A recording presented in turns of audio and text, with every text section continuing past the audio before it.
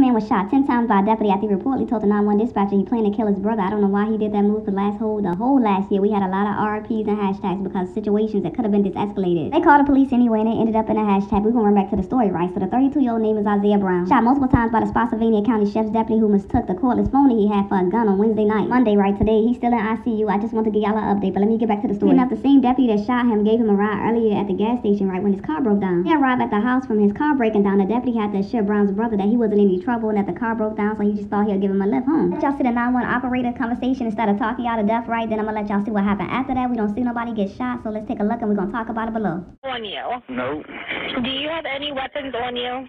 No. Uh, you need to hold your hands up. Hmm? Hold your hands up. Show me your hands now! Police released this body camera video showing the tense 20 seconds after a sheriff's deputy arrived on the scene. Drop the gun! He's got a gun to his head. Drop the gun now! Stop walking towards me! Stop walking towards me! Stop!